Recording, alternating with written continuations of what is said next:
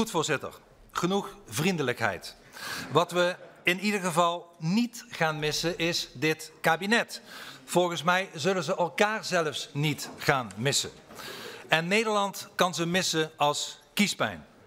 Voorzitter, het zijn ook, u zei dat ook al, voor de heer Rutte en mevrouw Kaag de allerlaatste algemene politieke beschouwingen, want zij verlaten de nationale politiek. En persoonlijk zal ik vooral mevrouw Kaag bijzonder gaan missen. Wij hadden toch met z'n tweeën een speciale band. Zij noemde mij graag radicaal, ik haar dan arrogant. Zij beet me naartoe dat ik discrimineerde. Dan zei ik weer als grapje dat ik er een bezem cadeau gaf. Kortom, het was altijd gezellig.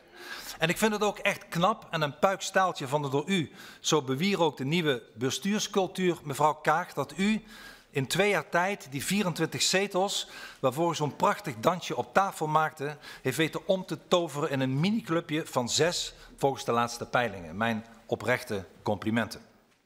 Maar voorzitter, ik moet eerlijk bekennen dat er ook, zeg ik tegen minister-president, een groot nadeel kleeft aan het demissionair zijn van uw kabinet. Want dat betekent dat ik eigenlijk voor het eerst in mijn carrière bij de algemene politieke beschouwingen mijn traditionele motie van wantrouwen niet meer kan indienen. En dat zal ik dan ook niet doen. Tenzij de heer Paternotte van D66 mij vandaag nog een keer belt natuurlijk, met het verzoek zo'n motie toch in te dienen. Maar dat hoor ik dan wel.